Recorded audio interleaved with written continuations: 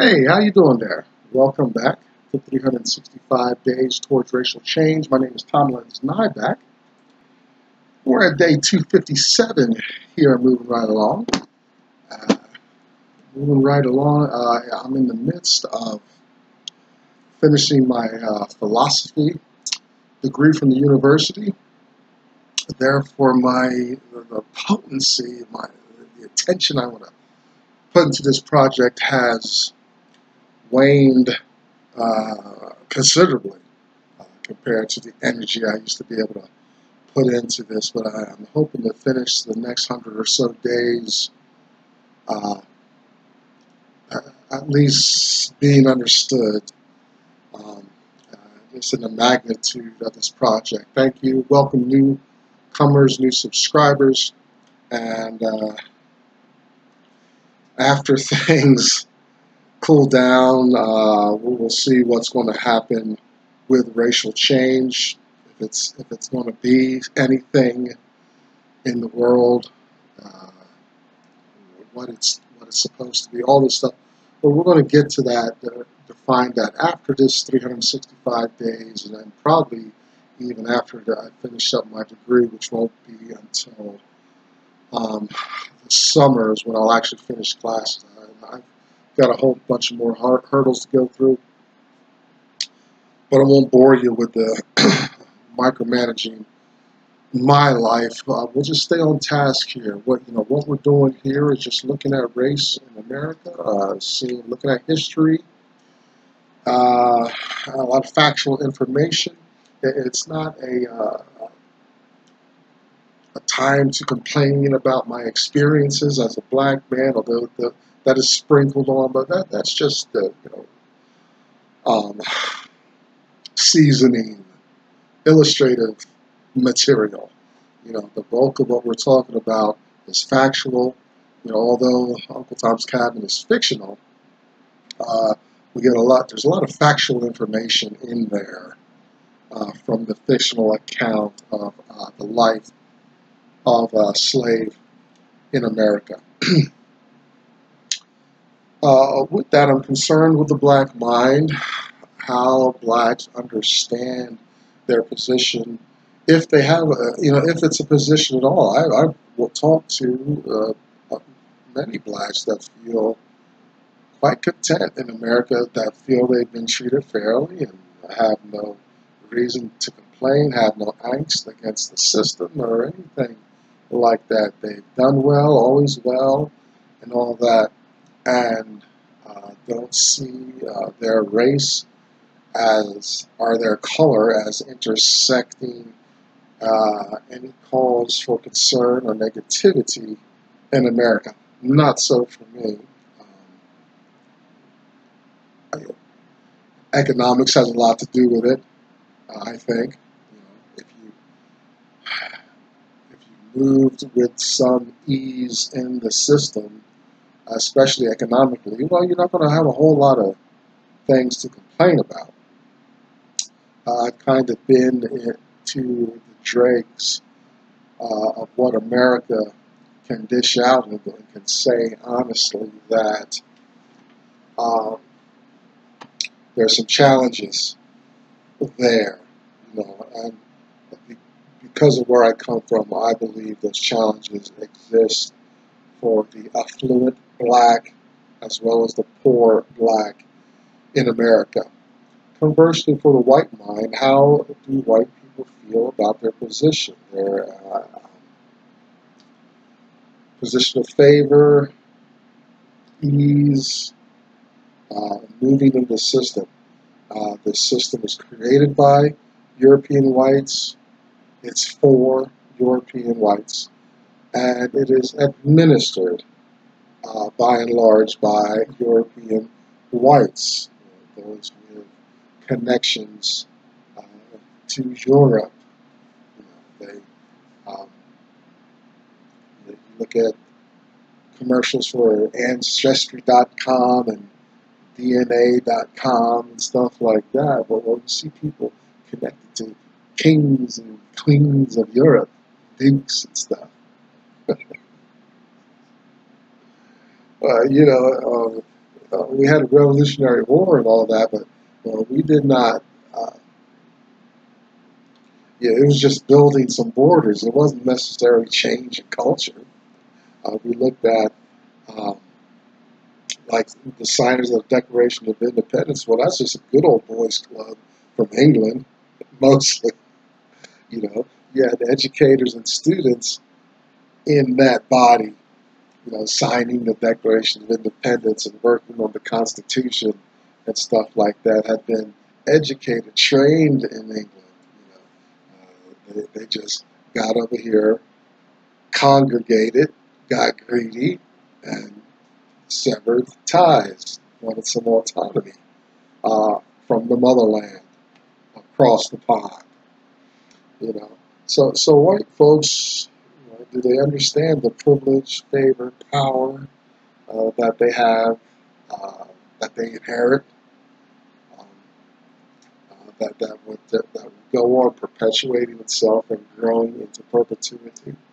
Uh, there any sense of conviction uh, to, to, to reconcile some of the, the gross injustices and misdeeds, the domestic terrorism performed against black people in America. You know, I think yesterday I talked about black people need a consistent and uniform identity to get behind uh, and forward into the world. That would help a lot.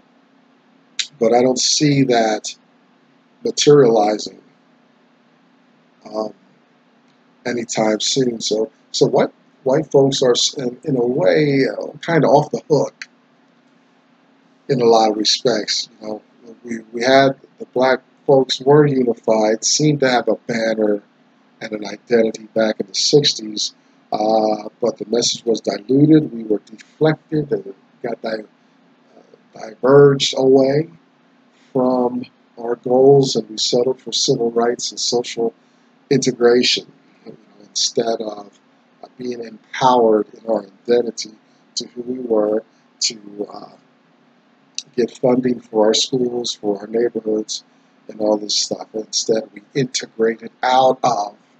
You know, it wasn't it wasn't an integration. It wasn't a cross integration. You didn't find white people beating down doors to get into black neighborhoods, black schools and whatnot. Uh, you know, but black people had to go out to integrate. You know, it's just a very messed up system. And you know, I'm glad Senator Harris is she appreciates her busing and got her opportunities and all that. But you know, Senator Harris, why wasn't your community uh, enriched, built up, funded? You know what I'm saying? Uh, you know, yeah, yeah, you went out there, but your community uh, was not a priority for, for fixing the fundamental changes that made busing uh, a requirement uh, for you to get educated. You didn't have the, the right education in your community. You had to leave. Well, you know, I'm the same way. You know, okay, I don't wait why, why is my home not repaired to the point where it's self-sustainable? You know? If there are subsidies, grants, and all that stuff, well, then I need, I need to get that. I need not go like I need not own a home, but be sleeping over my friend's house in the suburbs every night. I need my damn home fixed. Yeah, yeah.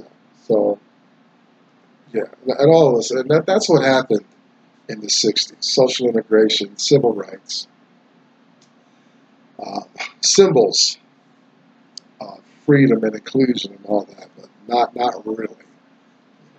The black neighborhood community was not good enough to invest in, build up, get the infrastructure. You know, got drugs, violence, guns, things like that. You, don't find that uh, kind of activity in affluent, secure, quiet, white neighborhoods. Financial literacy is important. Get your financial literacy together. Understand how your money works, how to put it away, save it, and uh, be conscious of how things are progressing for you monetarily. I'm inspired to do this work by a man named Dr. Claud Anderson. I've read uh, three of his works. He's all over YouTube. Easy man to find. Uh, I've read Black History Reader. 101 Questions You Never Thought to Ask. Black Labor, White Wealth, Search for Power, and Economic Justice in Dr. Anderson's National Plan to Empower Black America, Powernomics. You can find Dr. Anderson at powernomics.com. Behind me, you see the hashtag us too simple. Check it out and see uh, check the black women there, support one another, having their issues addressed, very important. Check out Black Enough, B-L-A-G-G-E-N-U-F, kind of a black Facebook experience. This is the World Wide Web. If you can't find your flavor your voice, do what I did, start your own and see how far you can go. Uh, it'll build some character, I guarantee it. Uncle Tom's Cabin is another aspect of racial change, and we are so spending a few days in it. Uh, where today we're still in chapter uh, 33. It's chapter called Cassy. This is part two. And here we find um, Tom's goodness and security, spirituality, it's overflowing. He's just living his life, but other slaves are catching on, you know, and Tom's goodness encourages goodness from this one, and they turn around. They're good back to Tom. You know, up until that point, Legree's plantation was just a gloomy, sorry, mean place uh, where the strong uh, elbowed the weak out of the way when it was time to cook the evening meal and such. Uh, this is where Tom has uh, has grown up, uh, or Tom not grown up, but Tom has arrived at, and he's um, he's having an influence on the plantation. Well, this is not not going to sit well with Simon Legree because you know, as right, as ethical, uh, as nice as Tom's character is, on the Legree plantation, it's a form, it's still a form of defiance. Legree wants everyone to be at odds. He wants the, to, he wants Legree wants to realize the goal of meritorious manumission, which the goal of meritorious manumission is not to set set a slave free. It's to encourage the slave to be at odds with other slaves. It's to cause division, strife, mistrust that Legree likes that. You know, he can handle that, you know, because they're, they stay a disorganized mob. But, but if they start having family and community and connection and, and uh, bond, bonding and whatnot, that's going to be a problem. You know, that, that encourages uh, sentiment, uh, feelings of community, and that that can turn can turn violent, spark a revolt, uh, X, Y, Z, all of the above. You know, so Simon Legree does not like that uh, about Tom, which we're going to see. Um, that spirituality, that damn Jesus, is, uh, not. Simon Legree does not want to tolerate that, doesn't want it anywhere near him, only spells trouble in the end. We find Sambo and Quimbo anxious to begin Tom's conditioning and education. You know, that we left them yesterday at the scale as they're getting their cotton weighed. Um, Sambo is right next to Simon Legree, complaining about Tom, complaining about Lucy, is not having sex with him and all this. Legree is already um, wary and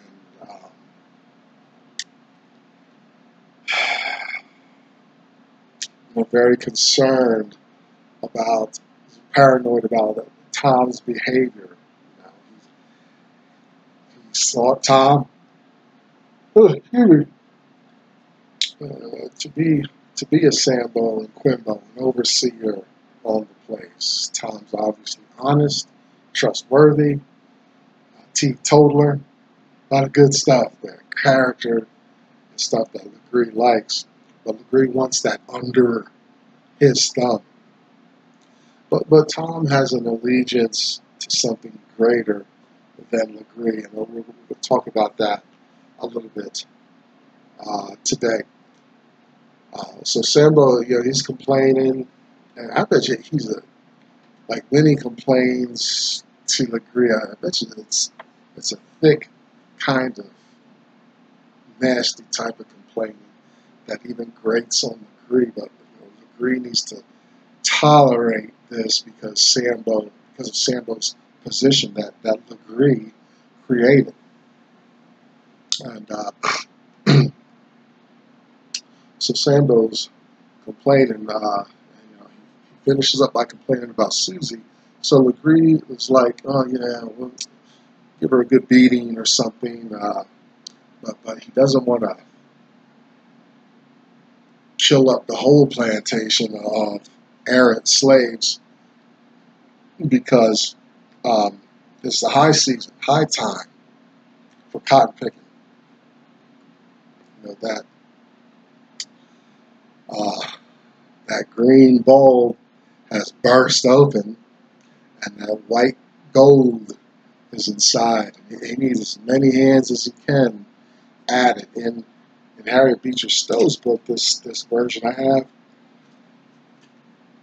there's a lot of uh, illustrations and pictures.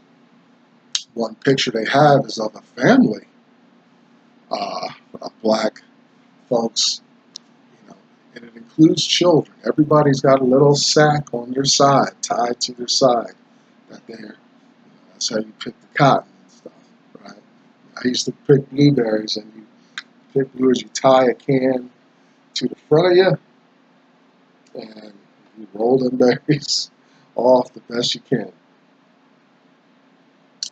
Uh, so even children are pressed into service at harvest time when it comes to the plantation.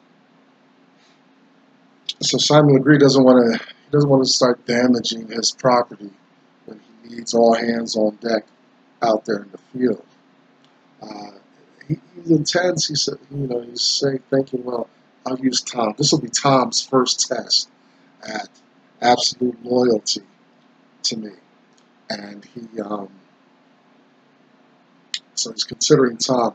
Now he's this is twofold. Right? He wants to get Tom obedient and start conditioning Tom to be as mean to the slaves as Legree is. But that doesn't that does that's not going to sit well with Tom. Oh, excuse me. As we'll see. But this, it's said twofold because he knows, you know, initially Tom may kind of take it easy on Lucy as he's going to be pressed into this service. And he, uh, he's anxious to see old Tom uh, perform this, but he knows Tom is not going to like beat her down as maybe Sambo, Quimbo, or Legree himself. So that's a scale. Everyone's coming across the scale with their quotas you know, even Lucy has her quota, but how did she get her quota? Tom has been helping her all day. And Legree knows it, he doesn't like it. So even though she's got her quota, the scale is showing, excuse me, her weight in uh, cotton. Legree's yeah, still rebukes her, chastises her, tells her to stand to the side. He's going to call her out. Uh, in the meantime, Cassy is there, and she's showing uh, some resistance to Legree. You know, her basket's overflowing, pressed down. You know, it's full of cotton. You know, you know she, it's, it's you know, uh, something's going on between them. You know, she, uh, Cassy is Legree's sexual concubine, slave concubine, whatever. Uh, so she sleeps up in the house and all this stuff. And, but, you know, so their relationship is complicated. You know, sexuality does things to people, even the meanest people. And uh, so Legree, there's something, some, some kind of bonding has happened where Legree can't be outright, an outright bastard to her. She knows it, uh, yet she's still under his control. He knows it, and so they've got this thing going on. Uh, something she does at the scale angers Legree, and he's he's, he's gonna. Ah, but she she looks at him defiantly, and um, he can't can't bring himself to finish coming to blows against uh, Cassy. So Cassy goes moves off. Um, now. He's, he gets his composure and he says, "Okay, Tom, my boy, you know." Sure it's presented to Tom very enthusiastically, with good humor behind it. He's, offering a whip to Tom to flog Lucy because he, he knows there's been cheating going on at the scale. Someone's helped Lucy and things like that. Tom says, "Nah, whatever. Uh, I'm not going to beat another slave. I'll work. I'll work in the field till I die. I'll be obedient and stuff like that to my own hurt. But I will not, under any circumstances, beat another slave. You know, and he's talking about. You know, he's got some character. You know, he is a slave that, but the humanity of people is inescapable. Either you have it or you don't. There's it's one of those things where an individual isn't on the sidelines. Some people are just haters of life and want to see the world burn. Other people uh, recognize the humanity in others, uh, the right of life to living things. You know, and Tom says, "No, I'm not going to. I'm not going to do that." And This makes Simon Legree fly into utter rage. so he hits Tom with a whip, he beats him about the head with his um, his fist, you know, calloused fist that he's been knocking black people around with. Uh, to, knocks Tom around. He's probably talking while he's knocking Tom around about all this stuff. Uh, until Simon Legree gets tired of knocking Tom around. And uh, Tom, he's, Legree's panting. Tom gets his composure, wipes some of the blood off his face, and he holds his ground. And, uh, no, whatever. That all you got? Is almost the attitude from Tom. And then Legree's like, look, Bible says the slaves obey their masters. Now, see, this is the this is the illusion, right? The, this slave. Now, I'm in philosophy right now, and this slave master relationship is not a. It's not in the realm of tangible things that you have to live by. Uh, these are derived relationships power and control dynamic, right? And so the slave obey your master. For one thing, that's the wrong interpretation from the text from the Bible. I'm not going to go long into that, but that's not that's not the purpose of the text and things like that. But it is one of the tools of manipulation for white slave masters in America at the time. Um, so Legree appeals to that. You know, still no affirmative response from Tom. Legree goes, look, I paid twelve hundred dollars for your black butt. That's you, I own you, and all stuff. Another derived relationship, this buying human beings and stuff. Um, long discussion. I, maybe I should put that on my list of topics about how we derive these power and control dynamics. They don't exist. They're not real things in the world as the as the way they were treated by uh, white slave masters and black slaves in that, that in the day. That was about that was the that was Tom's breaking point. Finally, he utters. Finally, his defiance comes out because Tom's uh, idea of uh, ownership and slaveship is, is one of submission to God and being bought by the blood and some of those traditional uh, Judeo-Christian uh, ideas. You know, he says, you know, I'm I'm bought with something much more valuable than you've ever put on the table for me. And what what was purchased uh, purchased my soul is Tom's response. Legree is exasperated. He's in a rage. He's near his own breaking point. and uh, that was it, you know. And so, Legree probably he knows this has been coming because he saw Tom's Tom's Bible, Tom's behavior out in public and stuff like that. So he Legree's got to oh the a black slave that, that that like believes that stuff. You know, got to break him down first. Uh, so this chapter ends with uh, Legree leaves Tom in the hands of Sambo and Quimbo, and, and uh, Sambo and Quimbo are on each side of Tom. They escort Tom out. There's no resistance from Tom, but Tom is not going to be not going to defy his relationship and his um, idea of God and, and whatnot. He's going to hold on that inner core belief because you know you can't take that away. You know, his body is forfeit in this world at this time and everything, but uh, you start scratching at his relationship with God and such, and you're gonna have you got to fight on your hands. You got some issues uh, to deal with. You do, not Tom, because that kind of thing is fixed. It's made up in Tom's mind.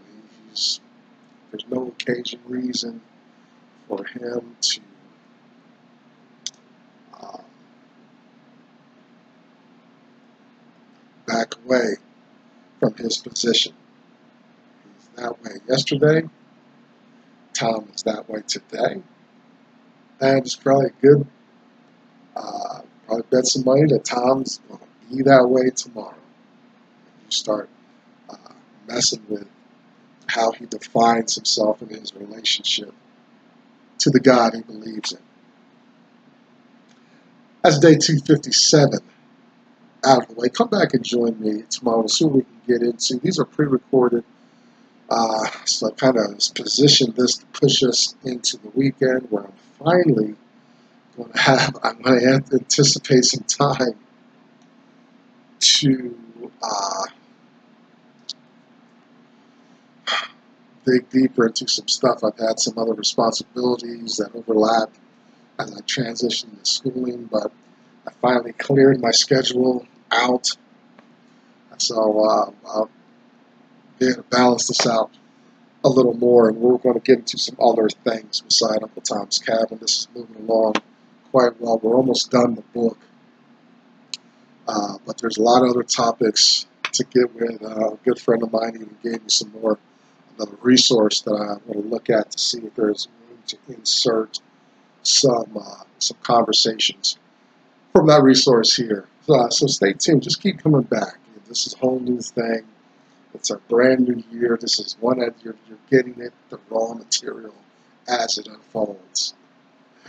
Thanks for stopping by. Welcome, new subscriber, new, new newcomer.